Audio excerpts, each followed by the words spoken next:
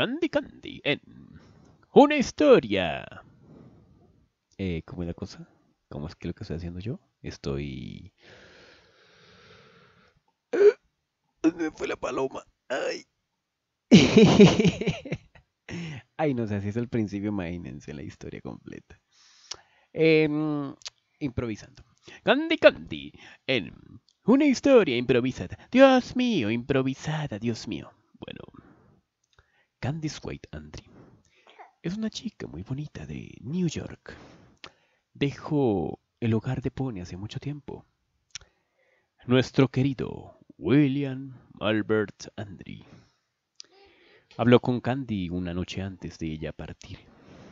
Pequeña, mira Candy, yo quiero lo mejor para ti. Sabes que he sido como un padre para ti. Y lo mejor en este momento y que yo considero es que estudies.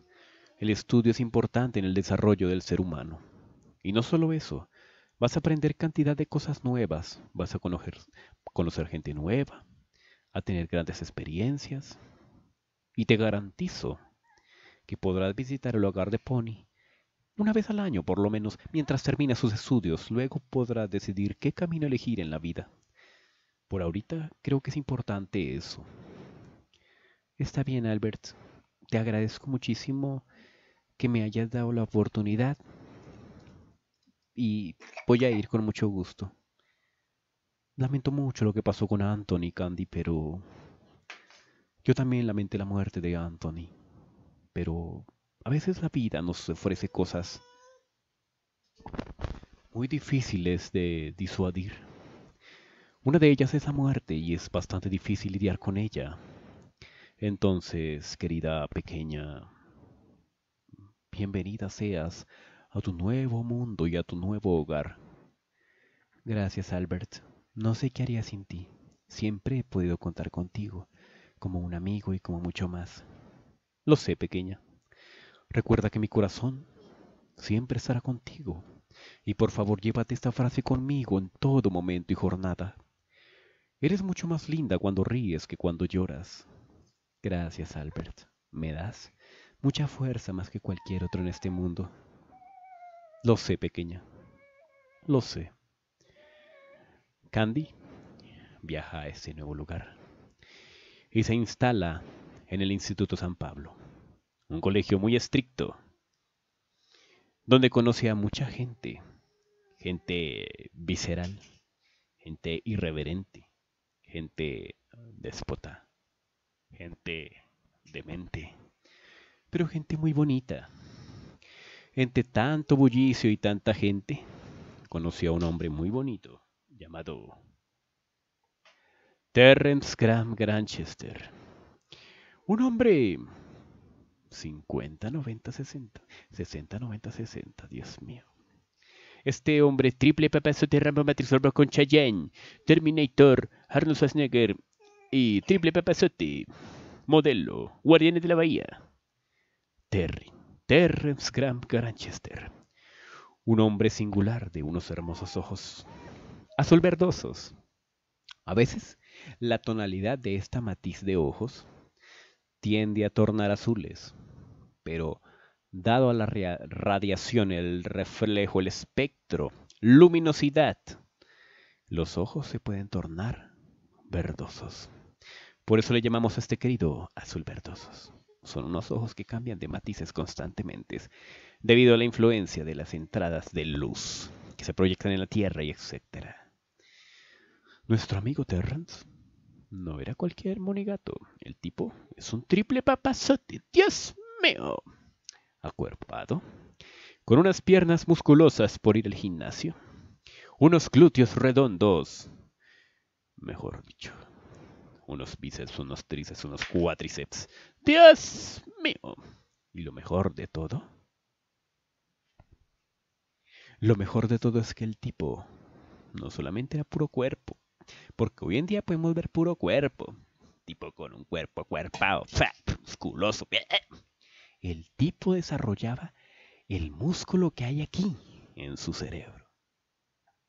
Y eso tenía más valor en ese momento. Y sobre todo en el Colegio San Pablo, donde es más importante el coeficiente intelectual que la belleza física. Entonces, Terry desarrollaba esa, esa habilidad, este músculo que es el cerebro que también se trabaja bastante. Leía literatura, historia, matemáticas, física, poesía. No sé, pero tenía nuestro amigo Terrence Granchester un apego muy emocional y existencial de todas las maneras posibles con el arte.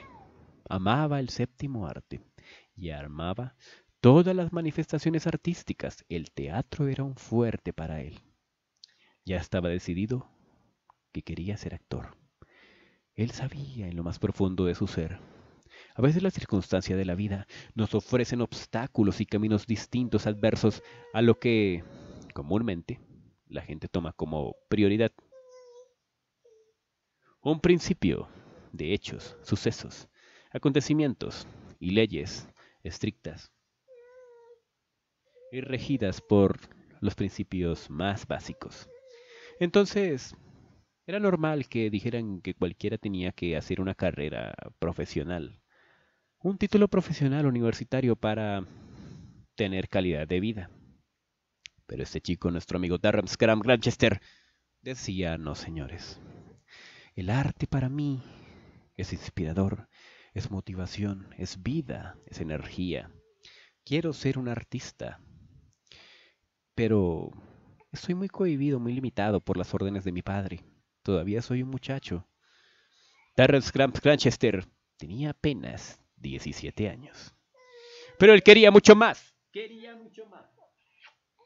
Entonces, el sueño de Terry era ser actor, pero estaba cohibido por las leyes del colegio. Candy, nuestra hermosa chica, estudiaba también allá. Una chica esbelta, delgada, de ojos verdes, no eran azul verdosos como los de Terry, eran verdes una cabellera rubia que resplandecía con el sol. La gente se sorprendía bastante porque decía, Dios mío, ¿el sol se está oponiendo? ¿O está saliendo el sol? ¿O sencillamente está reflejando los rayos del sol con su cabellera? Eso dice la gente cuando la veía pasar. Entonces, ya atiendo a la niña. Entonces, Candy siempre llegaba tarde al colegio, porque pues a veces pasaban circunstancias. Ella iba caminando por la calle, se encontraba un gato en un árbol. ¡Dios mío!